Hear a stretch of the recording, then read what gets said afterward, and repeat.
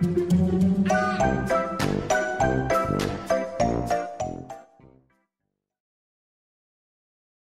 guys, Sandie here. Welcome back to the channel. Today I am playing with some really fun Brutus Monroe products. I have the Sophisticated Spring Paper Pad, I've got Candy Coat, and I have this gorgeous stencil that the name is escaping my mind at the moment.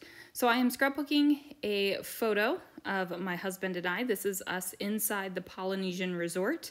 Uh, we scooted over there and went and had some PhotoPass pictures taken. So what I'm doing is I have placed my um, stencil down over top of one of the beautiful plaid papers from this Sophisticated Spring paper pack.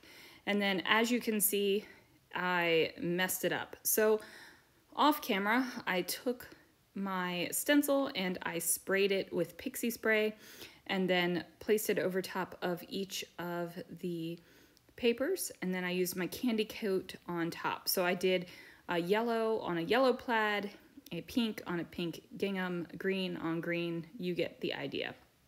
So then after I stenciled that, I let it dry and I went ahead and fussy cut out the stenciled embellishments because I wanted to use them more of kind of like floral ephemera rather than a stenciled uh, element on my layout. And that is the beautiful thing about stenciled images, you guys. You don't have to keep them as a stenciled image.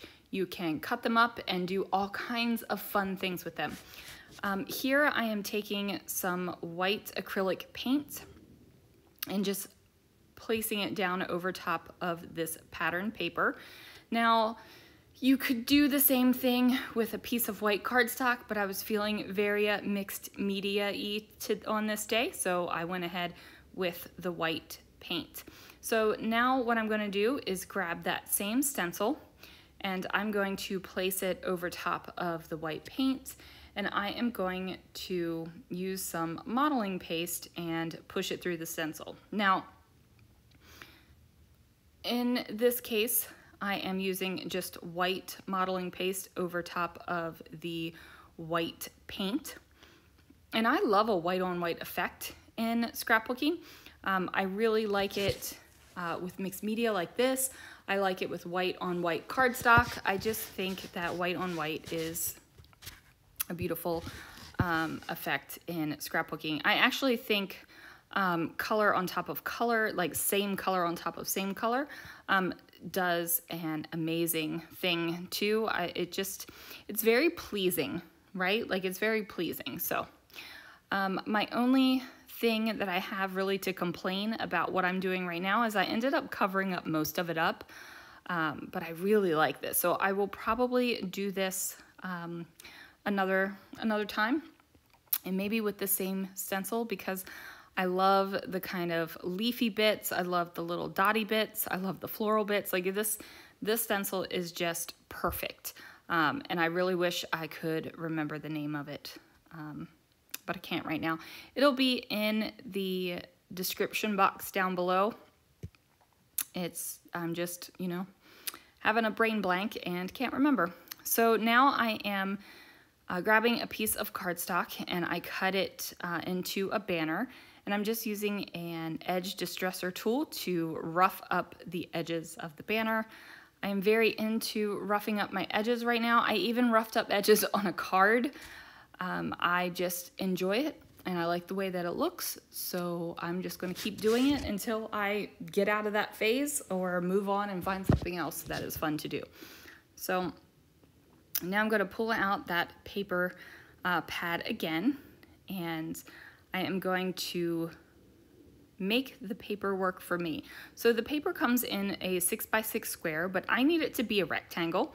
So what I'm going to do is cut it and hide it underneath of the banner so you would never know that it wasn't a rectangle piece of paper. Now I'm also going to bring in some scraps from my stash uh, just coordinating papers that work with that sophisticated spring uh, paper pack. Now I will tell you guys that any Brutus Monroe paper pack that comes out that is in plaids, it has my heart.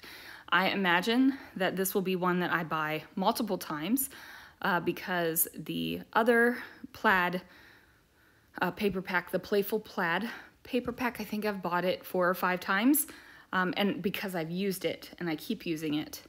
Um, I really find plaids to be versatile and they don't really have to stick with the season. It's one of those staples that you should keep in your craft stash. At least it's one that I keep in my craft stash. I do like to have those papers that you can use over and over and over and over again and you would never even know. You can do so many things with it. So as you can see, I got my photo down and you saw that I covered up just about all of that beautiful white mixed media through that stencil, and that's okay. Um, I know it's I know it's there. So now I'm going to take those fussy cut uh, florals and leafy bits, and I'm just going to place them all the way around my photo. I'm gonna go ahead and make sure that really this just screams, look at this photo. And I'm doing that by putting these fussy cut pieces all the way around. So Candy Coat is a beautiful medium. Um, it is a glaze and it has like sparkly bits in it and it has kind of that candy sheen to it. Now, in each of the different colors, the sparkly bits are a little bit different. I don't know exactly um, what the formulation is, but it is awesome. So now I'm going to uh, just keep on uh, figuring out where I want these pieces to be. So I want to have a variety of colors where I'm putting them down, and I don't want um, one particular color to be more prominent than the other. I kind of want to balance it out a little bit. And then as you can see, I've popped up some of them on Fun Foam and I'm also fussy cutting out a little bit more um, if it doesn't uh, work the way that I really want it to be. So in that case, I didn't want the kind of pink leafy bit to be trimmed off the edge of my paper. So I just ripped off the bottom of it and tucked it down further. So now I've got this uh, last little bit and I'm gonna place that down there. And then I have a pre-made embellishment that says, this is our happy place. We have lots of happy places, but Disney is definitely one of them, so I thought it was completely appropriate to use that. I'm gonna pop some of those stenciled ephemera bits out with some pop foam.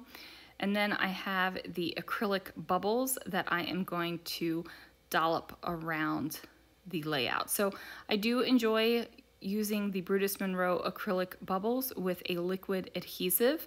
Um, that way, when the adhesive dries, you don't really see anything. You just see that the bubbles are there on the page. So again, I'm popping up some more things on some fun foam just so nothing feels like it's like leaning down on the page. And then that is gonna do it for this layout, you guys.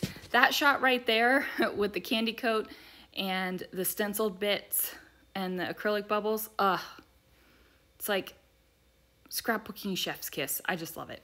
Anyway, guys, thanks so much for watching. Check out the links down below, and I will see you guys again real soon for another video.